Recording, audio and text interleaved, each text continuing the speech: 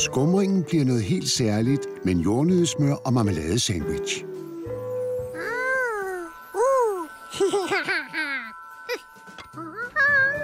og en lille jagt på ildfluer.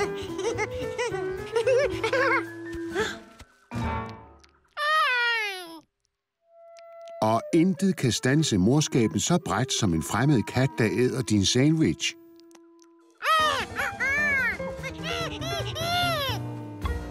Det var godt nok en særkat, men den havde brug for at få at vide, hvis mad det var.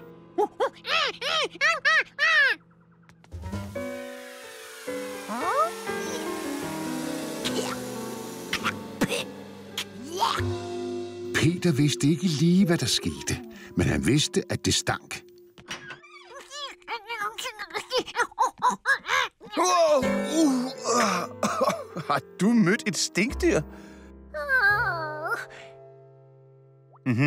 Hvis det er cirka på størrelse med en kat med en større hale, med den lugt og så et natdyr... Et natdyr? Nå, undskyld, ja, jeg mener, at det kommer frem om aftenen. Hvis alt det passer, så er det et stinkdyr. Nå, du kommer ikke til at lugte slemt altid. Tomatjuice får lugten væk.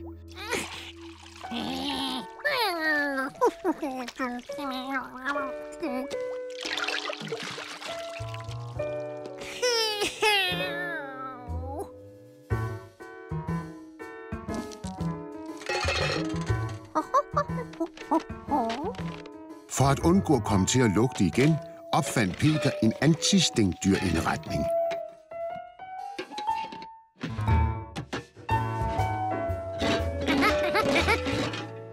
Denne gang ville han skræmme stinkdyret, så det ville holde sig fra ham.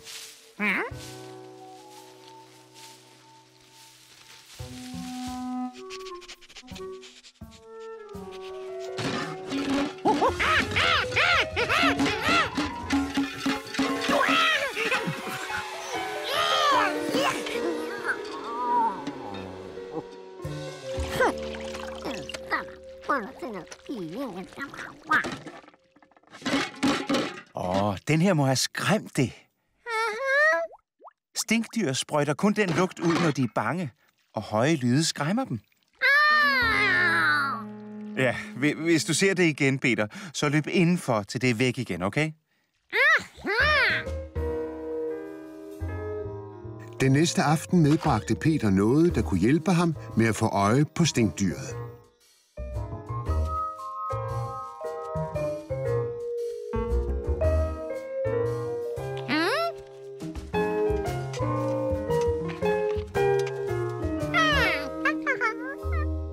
Hej Peter.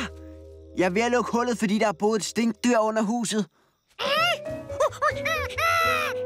Bare rolig. Den er ikke derinde nu.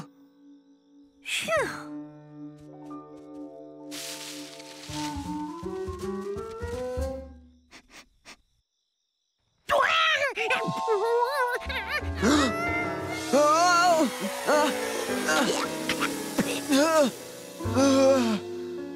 Det skulle du ikke have gjort. Stinkdyr er bange for skarpt lys, ved du nok.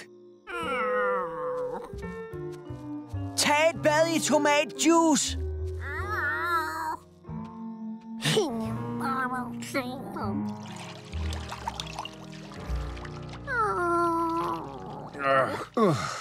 Nå, det er godt, at vi skal tilbage til byen i morgen.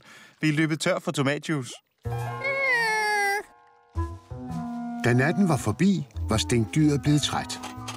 Men det fandt sit gamle sovested helt lukket til.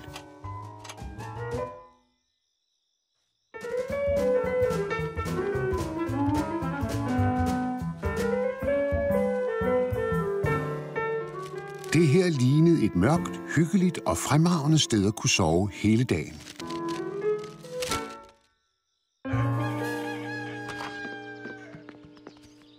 Hmm. Hvor har jeg dog stillet den kurv? Shh. Vi må ikke vække naboerne.